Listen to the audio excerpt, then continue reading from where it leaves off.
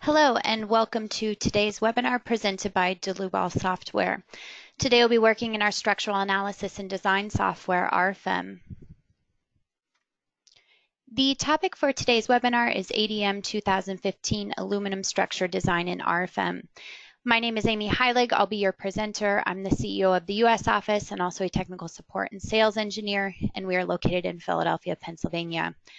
My colleague Vilant Gotzer will be your moderator. He's a product and customer support engineer located in our Leipzig, Germany office. If the control panel does seem to get in your way when you logged into this GoToWebinar, feel free to show or hide that with the orange arrow up at the top. We always want to encourage everyone to ask questions throughout the presentation. You can do so within the same dialog box. If by chance we don't get to all your questions, I will certainly send you a follow-up email afterwards. So regarding the content for the next hour today, I want to give a brief overview of our standalone program Shape Thin, our FEA program RFEM, and the add-on module concept within RFEM. Then we'll move into our example where we will create a custom extruded aluminum section in Shape Thin this allows us to calculate the cross-section properties as well as the element width to thickness ratio. So you'll hear me say this quite a bit because this information is what we can essentially integrate from ShapeThin into RFEM as treated as any other member. Once we are in RFEM, we will do the complete modeling of an aluminum carport structure. We will load it. We can set up our load combinations according to the ASCE 7 and to run a full analysis. We'll take it a step further and utilize one of our add-on modules, which will provide aluminum member design per the ADM 2015. So with that, I want to quickly go over the program and add-on module concept for those of you who may not be familiar with our programs. And the first program is ShapeThin. This is a standalone and it is for thin-walled sections where we can manually create these thin-walled sections directly within the program. We can create built-up sections by implementing some of the sections from the ADM or the AISC standard, or we can import in a DXF file, which is what we'll be utilizing today. These section properties will be calculated. You also have the ability to run a basic stress analysis directly within the program, which we won't be taking advantage of that today, but it is an opportunity to do so. Then we take these cross sections along with their properties and we can integrate them into our FEA program, RFEM. So RFEM, again, is a separate program, and this is where we can model our structure entirely. We also can integrate with BIM software such as Revit, Tekla, AutoCAD. We can fully load the structure. We can set up our load combinations, again, according to the ASCE 7, as well as many other international standards, and eventually we get a full analysis. Now, the analysis will provide us with design internal forces, deflections, support reactions, and we can take this analysis information into our own tools to do the design. Now, if we'd like to do design within RFEM, this is where we'd want to take advantage of the design add-on modules. And in particular, today we'll be looking at RF Aluminum ADM. So this is nothing more than just a dialog box that is within RFEM that allows us to do member design for aluminum per the ADM 2010, the 2015, and we have both ASD and LRFD. This does include both ultimate and serviceability design, so we can check deflections as well. This also includes custom extruded sections, which we'll see today, where we take this section from shape thin into RFEM and we can design it per the ADM. Now, this is for unwelded member design. Uh, hopefully, at some point in the future, we hope to add the welded checks, but for now, uh, keep in mind that it is only for unwelded members. So we are going to start off in our program Shape Thin. And I have created in AutoCAD a cross section and I want to import it in as a background layer within Shape Thin. So how we can do so is just by going to File, Import, and you must save your AutoCAD file with the DXF file extension. So we can simply click Open, and what you'll notice is that we have a dialog box here where we will want to name the section. I'm going to uncheck the plastic cross-section properties. I'm not so interested in that for this extruded section today, but what I do want to check is the C over T parts. Now this is the width to thickness ratios of our different elements that comprise this cross-section. So this includes flanges, uh, webs, any of the lips or extruded sections. Now why this is so incredibly powerful is that when we take this information of these width to thickness ratios into RFEM and eventually into the aluminum design module, we can actually check all of them for local buckling. So this is not something that maybe some other programs can do. But with that uh, requires maybe a little bit more additional work within ShapeThin itself to define this section. And we'll go ahead and see that now. So when I click import, we are brought into um, our graphical view here where we can go ahead and place the DXF background layer. Now there are a few options here for how we exactly want to place this DXF file. And I'm going to choose this one here where I can further edit it. So I select this center node, I snap here to my origin point, I can right click to e exit out of this dialog box, and now you can see this background layer here.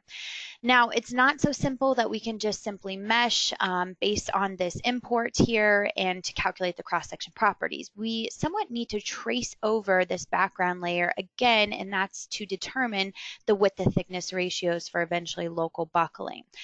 But we do have some powerful tools allow us to actually do that fairly easily. So under edit, we have set elements with DXF template. The first option here is to set the center lines. What I can do is to zoom in and I select two lines and you'll notice that the program automatically places a center line between the two selection lines.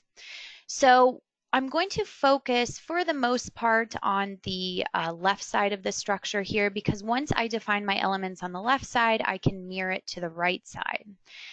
So in addition to setting the center lines, we have this fourth option here to set the elements. So we can manually draw in our elements up here with a new line, but we want to take advantage of these tools that just make our life a little bit easier with Shape Thin. So I want to set my material right now. So I can open up my material database. And you'll see over on the left, we have our filters. We can filter to metal, to aluminum, to the ASTM, and eventually the ADM 2015. And we have quite the long list here of all the aluminum materials directly from the standard. Now, if I want to go ahead and search by a particular material. For example, I can type in 6061 and I can see all of the applicable materials here where I will choose 6061 T6 for pipes and tubes. Now all of my material properties are defined here. Quite honestly, the material definition is not so important within Shape Thin if you're not doing a general stress analysis, which we're not today. Uh, eventually, once we get into RFEM, we're actually going to have to redefine the material anyway, but this is just a good introduction of where you can find the materials within the database. So now what I can do is just to simply click on these center lines and the program detects where the outside boundary lines are for the thickness of these elements. So once I have completed, for the most part, the left side of the structure, um, you'll notice up here, I want to actually drag this one element to the end, no problem. I can just drag and drop it and it will snap right to that end point. I can highlight all of my elements here and to use my mirror tool. And mirror tool is exactly like what we would find in AutoCAD, for example, where we can create a copy. We can mirror about the global z-axis and the origin point. I click OK, and now the program has created all of the elements on the right-hand side. Uh, it does create a couple little small segments here that I can just simply delete with my keyboard. Now, you'll see these symbols at each element. And this is the width to thickness symbols, those C over T parts. So this is what's recognizing width to thickness, but even more so, you'll notice that at these closed ends, we have what's called, looks like a T symbol. But at the open ends, we don't have that same symbol. So this, again, is important for aluminum design to tell the program, okay, how the edges are supported. And over on the right hand side, we can see that it's supported, but over on the left hand side, it's not supported. Again, important for local buckling. When we look at one of these other elements that's supported on both sides, we see that T-type symbol on both sides. So that's all that we need to do. And now we're ready to run our calculation to determine the cross-section properties. So when I go to run the calculation, um, I will immediately get an error. And it says material number one, FY is not positive. So this is the yield strength for my aluminum. And I can immediately look down here to my table and the program jumps to FY where it's set to zero. Well, the reason for that is because aluminum has different yield strengths depending on if it's for tension, for, for compression, for shear. So all we need to do is just to set some type of placeholder here. FY equal to 30 is perfectly fine. So that's the reason why the program populates zero there. So we can rerun our calculation and now we can see that we are presented with our results. Most importantly is if we take a look at table 4.1 for section properties, the program has automatically calculated all of the cross-section properties for us, including area, uh, moment of inertia, warping, uh, things like that. So everything has been done automatically uh, according to my calculation. Now, it's very important now that I save these results. So you have to save the results with the cross-section properties because in order to integrate in RFEM, uh, we need to know those and that only occurs with the saved results. We will get a message in RFEM when you try and integrate a shape thin section without running a calculation first. So that's all that is required from the shape thin side. So now what we can do is to jump to RFEM. And RFEM, you'll notice, has a very similar interface to ShapeThin. So what's great is that if you know RFEM pretty well, then ShapeThin should come pretty naturally. Uh, we want to give this one a name, so we'll call this one Webinar 100. The type of model is 3D. We can generate the load combinations automatically according to the ASCE 7 uh, 2016. Now, you can see in this drop-down box, we have many other international standards as well, including the NBC 2015. You can always uncheck this checkbox here, and what this allows us to do is to manually create the load combinations instead. But today we want to take advantage of the load combination generator, so we click OK, and we are brought into our main program RFEM. So to give a quick overview, again, for those of you who are not familiar with RFEM, we have our graphic window right here in the center, and we'll begin to model our structure, and we'll see that built up visually here. Down at the bottom is our table, and we can always import and export data to and from Microsoft Excel. This includes our results that will eventually be presented to us in table format as well. Over on the left is our project navigator. So as we begin to generate this model here, all of my input data, including my loads, my load cases, combinations, will be all available to me within the project navigator so that I can make quick changes to entire cross sections or to entire material groups. If we scroll down a bit further, this is our long list of add-on modules. So this again is why we have the concept only pay for what you use because quite likely you won't utilize most of these add-on modules depending on the materials or the standards, international standards that you utilize for your projects. And finally, we have our tools up at the top, uh, which we'll be utilizing today. And that brings us to the um, creation of our first column here, where we will go up to our quick tool here to draw a new member. So when we choose this option, we want to select the member type beam. We can open up our cross-section library and for aluminum sections, we will probably typically be working with the parametric thin walled sections, or we can take advantage of the ADM direct uh, sections directly from the standard itself. So with that, we will choose a hollow square section for today. So I click on my HSS sections, I filter over here to the ADM, and we'll see an additional filter to the ADM 2015.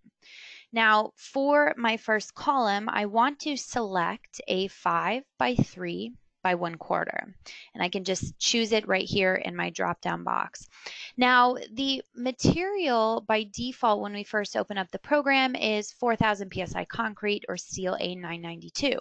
So what we need to do is to choose a new aluminum material from our database. Well, that's quite easy by launching our material database, and this should look very familiar. It's almost exactly like what we saw within ShapeThin. We can use our filters over on the left to filter to metal, aluminum, ASTM, and the 2015. Once again, I can type in 6061 and I can select from 6061T6 from my list here for pipes and tubes. All of my material properties are presented in this table. I click OK, I click OK. And just to also preface this, our model today, everything will be fully fixed, but if you did want to set a pinned member end, you would do so within the same dialog box here by creating a new member hinge. But leaving everything fully fixed, that is what the uh, type none means. So we'll just go ahead and go with that for now. So we want to begin by drawing our column, but I want to change around my drawing grid here to the vertical direction. Well, I can do so by changing my work plane into the XZ plane. I can scroll down and instead of a straight line, I actually want to create a curved column. And I can do so by selecting an arc here. So I snap to the origin at 0, 0, 0, and then my second point can either be defined on my work plane here, but in my particular case, I don't have exactly one foot increments for my second point, which is what the default is for my drawing grid. So what I can do is just to type in the coordinate points directly at 4.42, 0, and 11. Now you want to make sure not to drag your mouse outside this dialog box because as you'll see everything resets to the current position of my mouse on the work plane. So we'll retype that in at 4.42, 0, and 11. We scroll down here to apply and now you can either define the radius by once again clicking on the work plane here or I can just type in 30 feet on my keyboard and hit enter. And so now we should see the curved aluminum column shown here. In a similar sense, we want to go back and draw a new member. And I want to take advantage of the exact same cross section, the same material. I click OK, and we want to create another curved member. So we'll choose the arc option. Now my first point, again, doesn't fall at these one foot increments, so I can specify negative 0 0.5, 0, and 0. I click apply. Now my second point is going to be negative 3.5, 0, and 11, and I can hit apply. Now you'll notice that uh, my radius is actually curving the wrong way. Well, that's no problem. All I need to do is just to check the checkbox for reverse orientation. I'll type in 40 feet on my keyboard and I hit enter. And so now we have our second curved aluminum column here. The next thing to do is to apply some type of intermediate brace between these two columns. And I want to do so at some nodes along the member length that I need to create. So I can right click on my right column and I'm going to divide the member by a certain distance. So with this distance, I have the opportunity to choose the projected direction Z. So what I want to do is to add a node that is five and a half feet in the vertical direction starting at the base of the column. So you can see here which, side is the member start and the member end based on this black arrow here. I type in 5.5 feet for my member start. I click OK. And so now I have divided this member, which has created an intermediate node there. I'm going to do the same thing with the left column. I'm going to right click and I'm going to divide the member by a certain distance. Um, again, we're going to choose the projected direction, but this time it's going to be four feet from the member end. You'll notice that we have the reverse orientation for this column, which is no problem at all. So now we have uh, split apart this member as well. I want to go back to drawing a new single member and once again, I'm taking advantage of the exact same cross section, the same material. I click OK, but this time instead of the member being a curved element, it will be straight where I can snap to those new nodes that I have just created to add a small little intermediate brace here. Okay, so moving on to the top of our carport canopy structure, we want to import in that shape thin section. So what I can do is to go to draw a new member, which we are very familiar with, and to open up my cross-section database. And you'll notice that once this populates over on the right hand side in the very low lower corner, uh, we can import the cross section from shape thin. So when I do this, we will browse to the file location of where I saved my custom cross section so we can see it here. And by the way, if you were trying to import in a cross section where the results weren't saved, you would see some type of warning or note like this, just telling you the cross section hasn't been calculated, go back to shape thin and do so. So this is why the results need to be saved uh, with the shape thin file. So we can see here section two that we have just created we want to import that in. Now notice when we did that, it defaulted to the first material, concrete 4000 PSI that we have available in our model. So we actually want to edit the cross section and instead of concrete, we're going to choose the aluminum material that we've already defined in the model. So it's now always available for any additional members that we create within this file. So I choose aluminum 6061 and we can see here that everything looks okay with the material and the cross section set now. I'd like to uh, move my drawing grid so that the origin is now placed at the top of the left column. Well, I can do so by selecting this button up here to set the origin of the grid work plane. And I move to the top of the left column. And now I'm still within the dialog box option to draw my new member. So I'm going to choose a point that is uh, about four feet away from the top of the column on the left. And we will span about uh, three feet to the column on the right. So what's also powerful, if I turn off my drawing grid here and I zoom in, is that we do bring in the exact rendered view of this custom cross section. So it's somewhat nice to see the orientation of the member and how it's framing in to these columns that we have just created. So once we have created this main beam up top, I'm going to hold down my control key and select only my members. So you'll notice that I'm paying careful attention to not select the nodes. But there are a couple nodes that I do want to include. So by holding down my control key, I'm going to select the node at the top of my right column and the rear node. Now there is a specific reason why I'm doing this.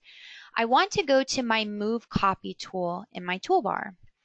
And move copy, nothing too fancy about this. We want to make six copies in the global Y direction of 4.5 feet. And under the edit expanded settings, what we have the ability to do is to create lines between copied nodes. So this is why I was careful to only select a couple of nodes that I was interested in. And even more so, we can assign a cross section to those lines. And we can create a new cross section type by going to a new member. And this should bring us to a familiar dialog box where we can launch our cross-section library once again because I do want to create a uh, rectangular hollow section here. So I choose this option and over on the left we will see our ADM filters once again and I can scroll down in my list to choose a 3 by 3 by 0.125. I select my material from this drop down box. Remember, it's already available to us because we have defined it within the model. I click OK. I click OK, and we're back in this Move Copy dialog box. I click OK once again, and what you'll notice happen is that not only did we make copies, but the program has placed these intermediate beams between our copied frames. So it's just taking um, a step out of the equation where we don't have to manually draw these beams in here. I want to take a few of these main frames and I'm holding down my control key and selecting them and I hit delete on my keyboard because they are not necessary. So now we are presented with, for the most part, a majority of our modeling is done with the carport canopy structure. A couple things to add. Uh, number one is that if I wanted to slope this roof at five degrees, And normally with sloping the roof, it might be a little bit difficult because we'd have to figure out at what elevation all of these nodes should be placed at depending on their distance away from where the slope should begin. But we do, once again, have a nice feature within RFEM that allows us to do that automatically. So I select all of my roof members here, and under Edit, we have the chamfer tool. So with the chamfer tool, we can define an angle of negative 5 degrees. We want to rotate it about the global y-axis, and we want to rotate it in the direction of z. Then I can graphically pick the point where I'd like the rotation to begin. So I choose at the top of my right column any one of these points. The program populates the coordinates. I click OK, and now my roof has a 5% slope to it. So again, just a nice feature so that we don't have to manually determine what all these different elevations are based on a 5% slope. The last and final thing to do with modeling of our structure is, of course, to support it. So we can go up here to a new nodal support. Now we have a few default options, including hinged and rigid, pin type support, or fully fixed. We can always create our own type of nodal support, which you'll see are six degrees of freedom here uh, for rotation and translation. If you have partial fixity for somewhere in between fully fixed and fully released, you can set that. Or because non uh, RFEM is a nonlinear analysis program, you can set these geometric nonlinearities so that perhaps the support fails in uplift, for example, or sliding or friction or anything of the sort with partial activity. For today, we want to choose the default fully rigid option. I click OK. All that I need to do is to highlight across the bottom of my structure, and now those fixed supports are applied to the bottom of those columns. So we are essentially done with the modeling and we want to move on to loading. And what we need to start off with loading is of course defining our different load cases. And we can do so within the option up here to define a new load case. So this will bring up our load cases and combinations dialog box. The first load case to create will be dead load. The action category is set to dead. Um, action categories are important because this tells the program exactly what load factors to apply to each load case based on the ASCE 7 or whatever standard you're using for the automatic load combination generation. Uh, the self weight is automatically checked here for dead load. But when we create a new load case, and we'll call this one live load with the action category of live, we want self weight to be unchecked because we don't want to account for it twice. Now, because this is a carport structure, maybe we want to consider the possibility of impact loads. You know, perhaps a car could unfortunately drive into one of these uh, columns, and we want to account for that. So we'll create a couple of additional live load cases for impact. So we'll call this one impact one. And the action category is set to live. We can make a copy of this load case and we can rename it to impact two. I'm going to create a load case here for wind one with the action category of wind. And once again, I'll make a copy of this one and create a second load case for wind two. Now, of course, you'll probably have many more load cases for your project design, but for today's example, we will just stick with these. So under the Actions tab, this is important because here are my actions that I've defined, dead, live, and wind. Now under live, I have my live load, which will be some type of area load at the top of my roof structure. I want that to always be acting uh, within these load combinations. But impact one and impact two, I don't want everything to act simultaneously as we have it set here. Instead, I want impact one to apply or impact two to apply along with the first live load. So how we can do that is by setting the option for differently here. So live load can be set to no group, impact one can be set to group one, and so can impact two.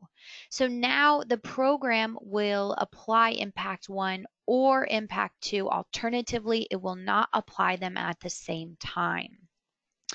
It's a similar concept for wind load. Wind loads are automatically by default set to alternatively. So it won't apply wind load 1 plus wind load 2. It will apply wind load 1 or wind 2 within our load combinations.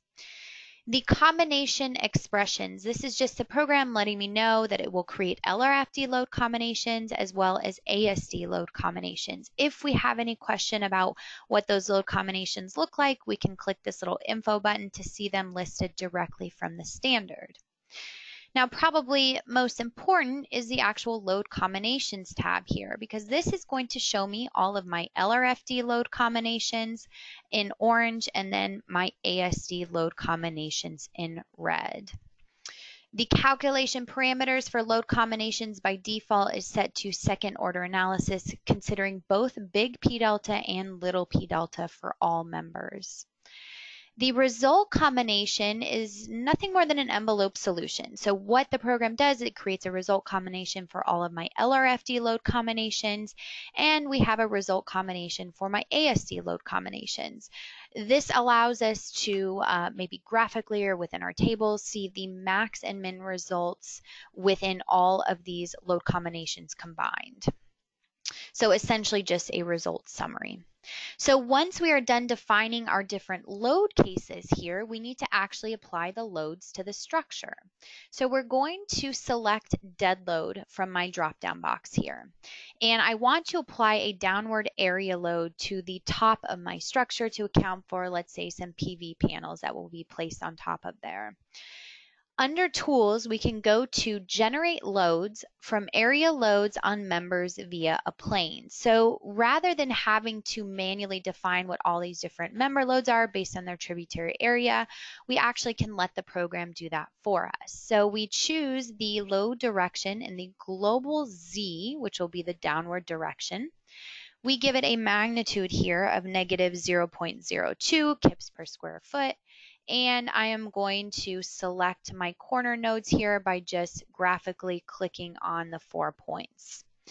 Now we also have the ability to exclude members parallel to a particular member. Now what I mean by that is what I can do is select one of these uh, intermediate beams here framing in and out of the page. I select one, you'll notice that all the rest are unselected if we do not want the load to be applied to those but rather our main beams instead.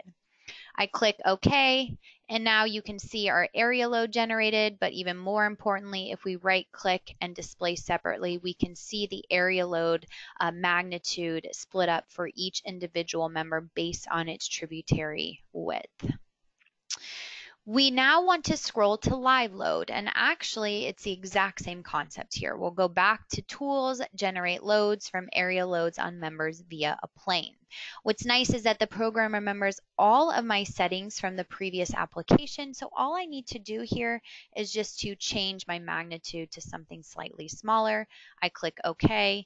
And now for live load, you can see here the uh, member loads applied based on their tributary area. Now, for impact load, this comes from the ASCE 7 2016 and specifically section 453 for vehicle barrier systems.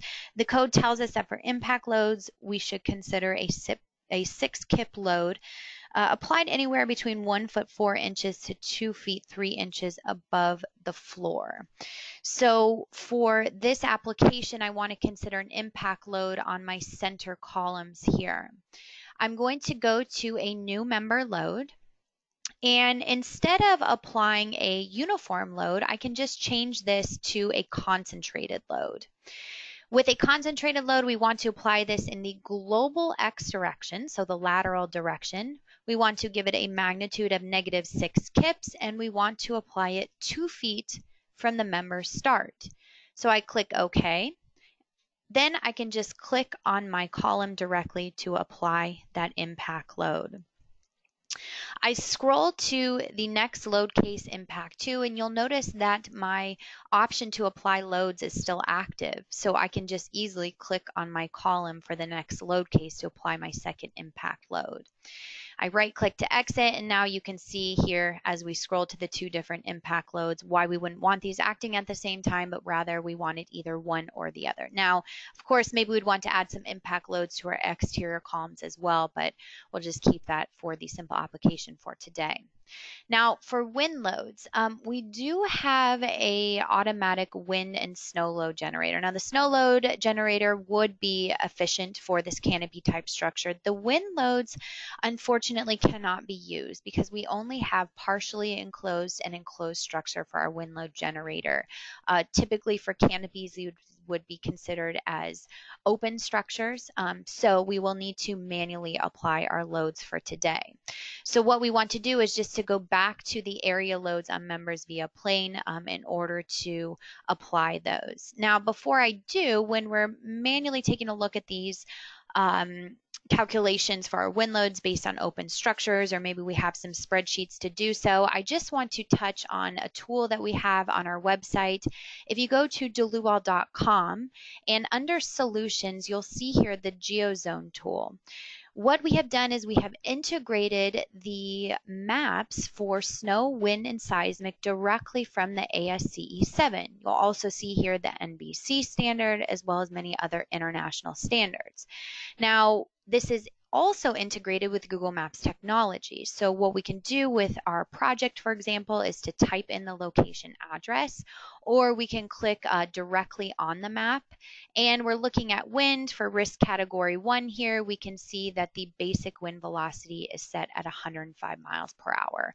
Um, so just something that maybe is a little bit more efficient than opening up the code and having to flip through to all those different maps. You can take advantage of this. Uh, keep in mind that the first 10 or so clicks are on us. But if you plan to heavily utilize this tool, then maybe uh, you'd like to buy a package within our web shop.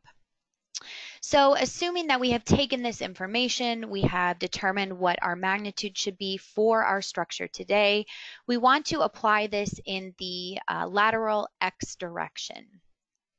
And again, applying this to my roof structure, we want to set the magnitude here to negative 0.01 kips per square foot. The program remembers all my settings. Uh, maybe I exclude the option down here to um, set the members parallel to member where it removes the influence from. I click OK, and now we should see this area load applied in the lateral direction here to our structure. Now, in reality, we'd probably want to apply some lateral loads to our columns as well, but for simplicity, uh, we'll just move on with this lateral application. So under tools, uh, we also want to maybe apply a downward load. And for this, again, we can just modify the load direction in the global Z direction, modify the magnitude to negative 0.005, and maybe we actually do want to exclude uh, those intermediate beams here from my downward wind loads. I click OK. So all within this same wind load case one, we can see a downward wind load along with the lateral load applied. Now, um, a nice trick is that for wind load two, uh, I'd like to essentially keep the same load application, but I just kind of want to modify either the magnitude or the load direction. So what we can do instead of going back and once again applying our area loads with the load generator is go to my load cases and combinations and I'm going to take wind 2 and I'm going to completely delete it. So now when I take wind 1 and I make a copy and I rename to wind load 2, the benefit is that when I have already applied my loads to my load case, it will copy the loads along with the load case to wind load 2. So now when I click OK, I've copied all those loads from wind load 1 and you can see now I'm looking at wind 2. All I need to do is to double click at my top load here and reverse the orientation, reverse the magnitude here for an uplift force instead. So that's just a nice way to quickly redefine loads here by copying the actual load case itself. So now that we have defined all of our different load cases, we actually can scroll through to the different load combinations and see these applied to the structure at once, including live loads, impact loads, wind loads, everything is shown here. Now, before we are ready to run our analysis, um, there is one thing that I want to discuss from the ADM, and this is the stability requirements according to section C2. So I actually did a previous webinar. It was around two years ago, but everything is still applicable um, to design today, uh, according to the ADM 2015. And I went into much more detail about the stability requirements in Chapter C. So certainly refer to that on our YouTube channel or on our website. You can just search ADM and that will bring up that uh, previous webinar. But today, what I do want to apply is the reduced stiffness requirements from Section C2. And the code tells us that we do need to reduce the flexural uh, stiffness by a tau sub b factor. And the tau sub b factor is an equation and it needs to be iterated based on the axial forces within our member. Additionally, there's a 0.8 factor that should be applied to bending an axial. And lucky for us, these requirements are almost identical to what the AISC requires. And what we have in the program, when we highlight all of our members, we can right click to edit the member and when this dialog box pops up, you'll see here a modify stiffness tab. Well, this allows us to modify the stiffness according to the AISC 360. Now, again, the ADM 2015 lines up exactly with the requirements from the AISC. We will determine what that tau sub B factor is, and we will also apply a 0.8 factor to the flexural and axial stiffness. So now this will be applied to all members that contribute to the lateral stability um, it is also conservative approach just to apply this to all uh, members as well, including gravity members. So I click OK. And you might be asking yourself, okay, the stiffness reduction is great for my design combinations for the ultimate limit state, but for serviceability or for deflection, I don't want to reduce that stiffness. So how do we separate that out? Well, we can do so uh, directly within our load, load cases and load combinations tab. So what I can do is to select all of my ASD load combinations here by holding down my shift button. Under the calculation parameters, we have the ability to uncheck the members here for the stiffness factors. So this will no longer reduce the stiffness for all of my ASD load combinations, which are typically used for deflection. But if we take a look at some of our LRFD load combinations, sure enough, that checkbox is activated again. So we will reduce the stiffness based on the stability requirements within the ADM. So now with that said, we are finally ready to run our calculation. So we go to calculate, calculate all, and the program is actually going to cycle through about 40 or so load combinations, again, running a nonlinear analysis to account for secondary effects of P delta and P little delta. So once this is done running, we will be presented with our results directly within RFEM. And we'll notice now that we will have a results tab available to us. And currently we're looking at the deformations of our structure, which is a little bit difficult to see here because uh, it is just based on the center line. So under the display tab, this actually controls everything that we're viewing graphically here. We can turn on and off different elements. We can change the view. Uh, for example, the results tree here. We can expand out the deformations for members and we can change this to cross sections colored. I can even uh, smooth my color transition to make it look a little bit nicer here. And now I can scroll through to my different load combinations just to see the reaction of the structure under the different applied loads. And if we're also interested in seeing how the structure behaves uh, as a short little video, we can play the animation here. And how I think this is useful is that if uh, we incorrectly modeled something, we'd probably see some odd deflections here for this video. So just a nice feature that we can export this out, of course, um, and save to our computer as a video file as well. So in addition to deflections, probably what we're also very interested in is member internal forces. So we can go back to our results tab and I can scroll in here to view these members in closer detail and we can take a look at axial forces, uh, shear forces, bending moments. These are all available to me graphically. I can also right click on any one of these members to go to the results diagram. The results diagram will just essentially show me in a little bit more detail where I can turn on and off these internal forces and deflections, what's going on along the member length. I can also scroll through to different load combinations here, export them out to my printout report. So maybe uh, a little bit uh, more detailed than what we can see graphically here. In the same concept, we also can view our support reactions. So with the support reactions, we can turn those on graphically. And again, all this information is available to us within our tables. So we're currently looking at table 4.1 for support forces. You'll notice that the table synced up with RFEM here with the big red arrow showing me exactly where I'm at uh, according to this table that I'm clicking in. So we can export all of this information, uh, support reactions, internal forces, again, to our own design tools, such as Microsoft Excel, maybe some in-house tools to provide the design. But if we want to take it a step further within RFEM, then this is where we want to take advantage of our design add-on module, RF Aluminum ADM. So we can activate the add-on module within our project navigator over on the left, or we can access the add-on modules under our drop-down at the top. This is nice because they are categorized a little bit nicer uh, where we can go to design of aluminum per the ADM.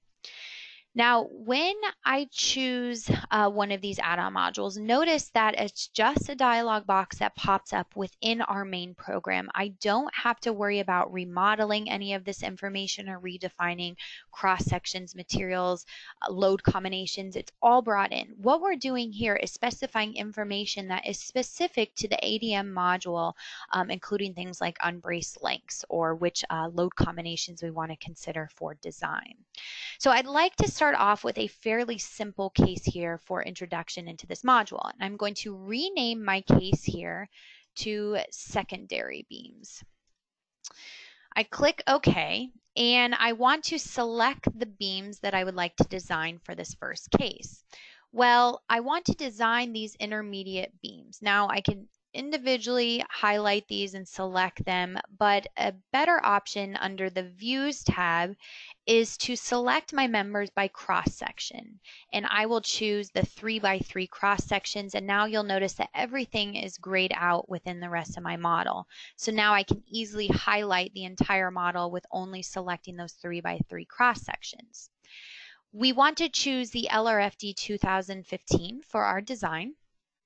And for our ultimate limit state, this is where we choose our LRFD load combinations. And serviceability limit state would be our ASD load combinations, again, brought in directly from RFEM, considering stiffness modifications and everything else that we've previously set. All we need to do now is to simply move down our list over on the left. The materials are brought in from RFEM. We're still utilizing aluminum 6061. Uh, we have our cross sections here with our 3x3 with the cross section properties shown.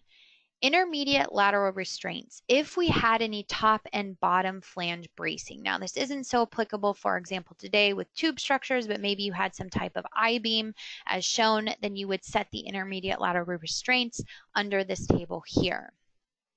The effective length. So this is our stability design. We have strong axis buckling, weak axis buckling, lateral torsional buckling, and flexural torsional buckling. So to explain a little bit about all of these different options, um, you'll notice here that we have the effective length factors. Well, section C3 from the ADM tells us that we can use K equal to 1.0 unless a smaller value can of course be justified. So we'll go ahead and leave all of these values set to 1.0. Now the effective length, which is our K times our unbraced length is our next column here. By default, everything uh, will go ahead and populate according to the member's uh, length back in RFEM. So in this case, they're all 4.5 feet. Same thing for unbraced length in the weak axis direction. So if by chance you didn't model in some members here, or maybe you, those PV panels are bracing these members um, laterally, for both strong and weak axis direction, then you can go ahead and adjust the unbraced lengths here. But for today, we'll just keep all of those to default to the full member length. Lateral torsional and flexural torsional buckling are very interesting because we have the ability, again, to set unbraced lengths here for uh, LW, which would be the lateral torsional buckling length, or LT, which is the flexural torsional or torsional buckling length. So if those differ from the full member length, you can adjust those here. Now, the critical buckling moment um, can be determined by default is an eigenvalue analysis.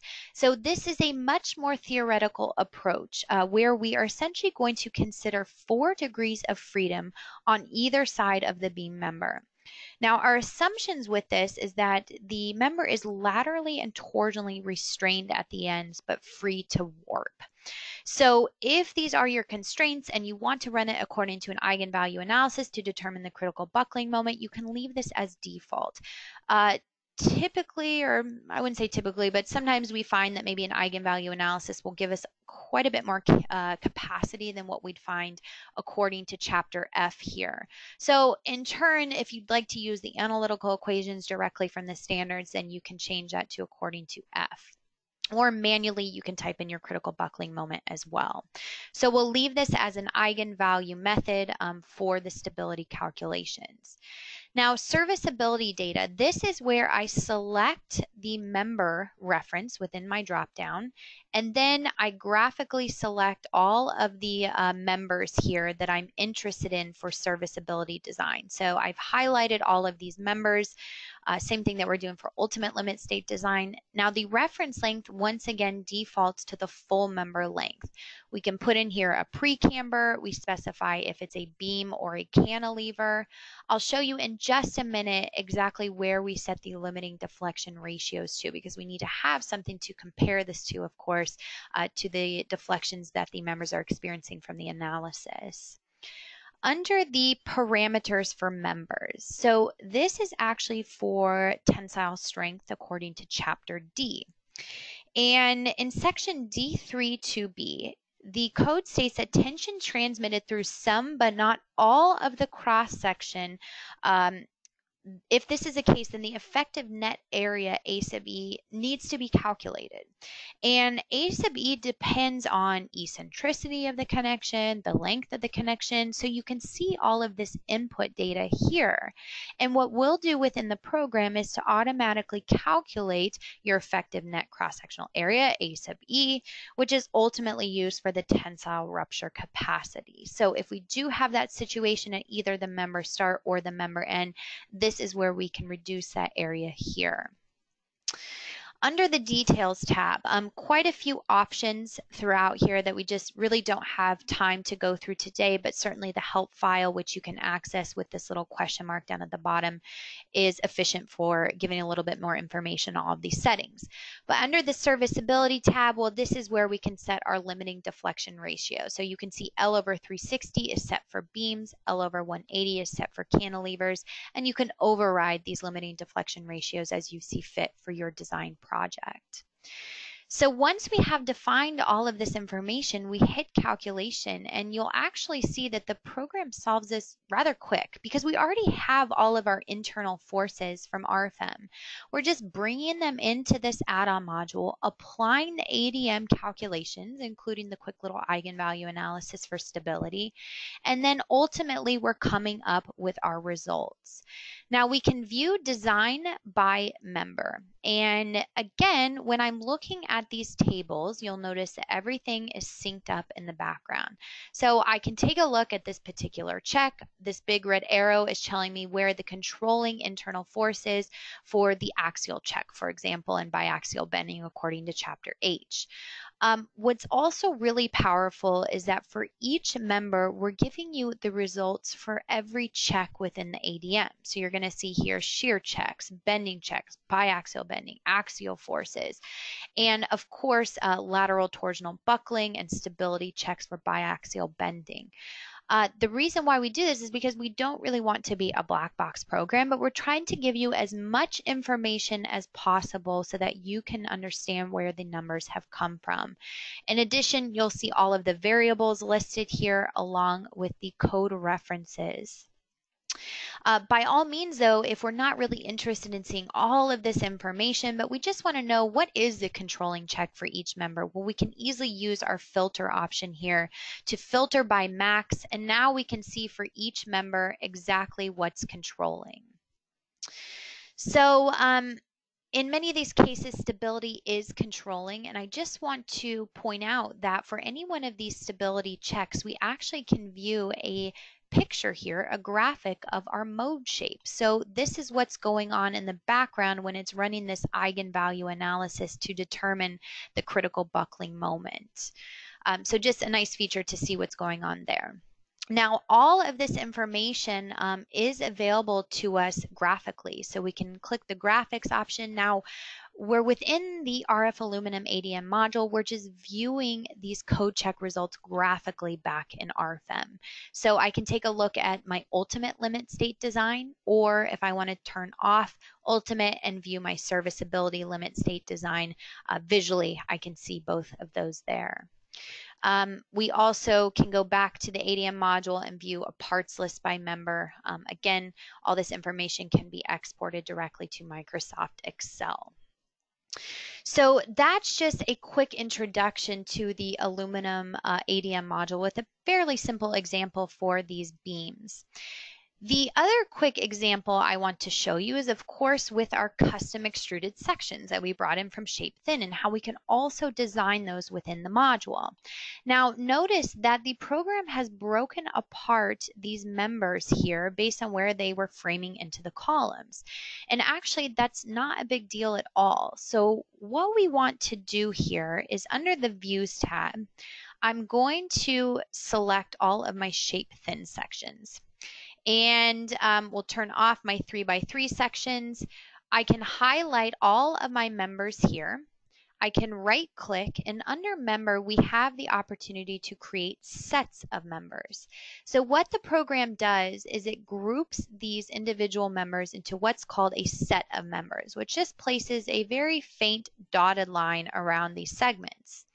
So you'll notice that I didn't have to clear my results for the analysis. It does not affect the analysis whatsoever that these are broken apart into separate segments. But for design, maybe we are interested in designing this as one continuous member rather than individual segments, which by the way, both are possible.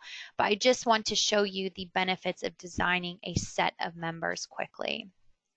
So we'll start off by designing um, our set of member that I've shown highlighted here, we go back to our RF aluminum ADM module, and I'm going to go to File, New Case.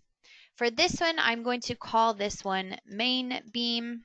I click OK. What the program gives me the ability to do is to always jump back to my secondary beam design. So I've just created a second case here within my dropdown.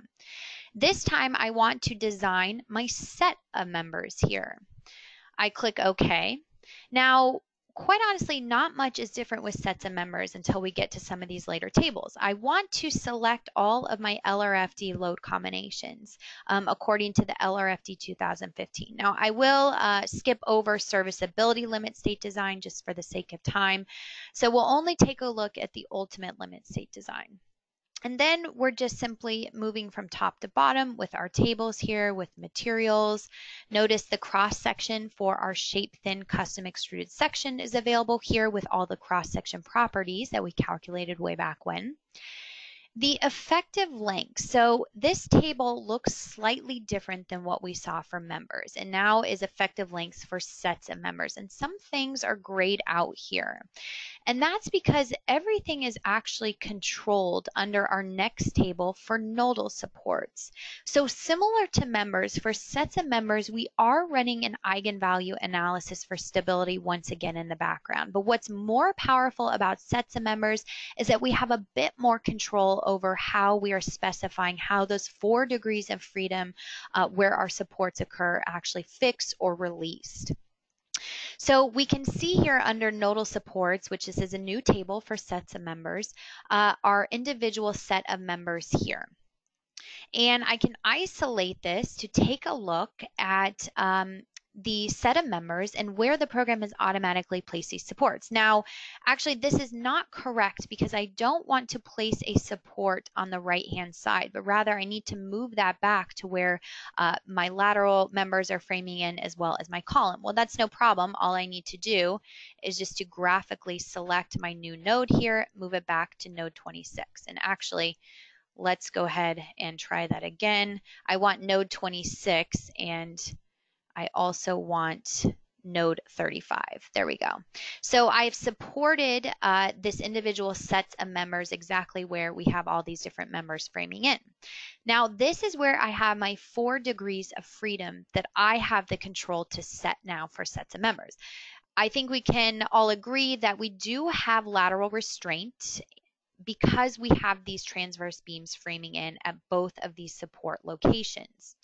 Rotational restraint is the ability for the member to rotate about its own axis. And uh, I would also agree here that maybe we are restrained in that aspect as well. Now, rotation about the vertical axes. Um, I would say that maybe for our front support here with our column framing in, we do have restraint about the vertical axes for rotation. Now, this is not applicable for our example today, but if we had warping restraint, we could also set that at any one of these supports. But let's not forget that we also have this back column framing in here. So I want to additionally choose this node and node number 25, 29, it places a new support here. But the only degree of freedom that I would like to place at this location is the ability for the column to restrain rotation about the vertical axes. Everything else is pretty free to move because we don't have any lateral restraints framing in there. So now when we jump back to the effective lengths, you'll notice that my weak axis buckling, lateral torsional buckling, flexural torsional buckling, this is all controlled from those nodal supports that I just put in there. So again, much more control over the four degrees of freedom. What also is powerful about sets of members is that they don't necessarily have to be in a straight line. You can design a continuous member uh, that uh, doesn't lie in a straight line, but is in the same plane. So for strong axis buckling though, we do need to adjust this and the worst case distance here is in between our two columns at 7.95 feet. So uh, the last table here is member hinges. If we wanted to release any one of those four degrees of freedom along the set of members, we could do so here, but we don't have that for today's example. So then I can just click calculate. Again, it solves within a quick second and we're presented with our results and we can view design by sets of members. So same concept here. We're going to present to you all of the different checks directly within the standard. And I wanted to point out uh, a course stability analysis for lateral torsional buckling. And we can view our mode shape here for this set of members and what the program's actually doing in the background. Um, one thing I mentioned over and over again is the ability to check local buckling for these custom extruded sections. So that work that we put in within SHAPE-THIN for the uh, element with the thickness ratios and whether it's closed or open on either end, well, you can see here that that's now all listed under the cross section local buckling. So every single element is listed here. Uh, it shows whether it's in tension or compression, how it's classified, the slenderness. So again, very very powerful because not a lot of other programs have the capability. Of course, we can bring it in, we can do general design, but the ability to do local buckling for all of these individual lips and webs and flanges uh, is pretty powerful. Okay, so um, that's essentially what I wanted to quickly show you for design by sets of members. And that will actually bring us to the end of our webinar today. So jumping back to the PowerPoint, um, you know, as always, I know that this is a a lot of information within the hour. So feel free to visit our website at dlubal.com to learn more information about RFEM, SHAPE-THIN, and the add-on modules. We also have our web shop listed there uh, so you can see pricing information on any of these products. I certainly want to encourage everyone to follow us on our social media accounts. You heard me mention our YouTube channel. Well, this uh, recorded webinar will be placed on there within a day or two, so you can review everything that we learned today as well as other previous webinars. Um, same thing for LinkedIn, Twitter, Instagram. We like to announce there um, different events and conferences that we've been at, technical articles, frequently asked questions, so it can be really useful for your time spent in RFEM. Now, if you have any questions about today's webinar or any other question about our products, please contact us in our Philadelphia office at our email listed here, info, info us at dlubal.com. And our phone number is 267 702 2815. So we will have many more upcoming webinars. We try and do them about once a month. You can register on our website at dlubal.com under support and learning and webinars. But as most of you know today, I send out a reminder email about a week before these will occur. So feel free to register as those come up. Now, as for PDH certificates, these will automatically be emailed to all participants today. So they are available for participants who were here for the full presentation. Um, this just is required by the different states that we are allowed to present PDH certificate to you guys. Of course, there's some leniency um, by several minutes, so no problem there. If there were any attendees that uh, attended but did not register with your own email and your own name and you are wanting PDH, you will have to request that. And you can send us an email at info-us at dlubal.com. So again, if you yourself did not register with your own name and your own email, the only way to get a PDH certificate is to go ahead and send us an email at the address shown here and request that. So as always, I want to thank everyone for attending today's webinar and we hope to see you at our next presentation. Thank you.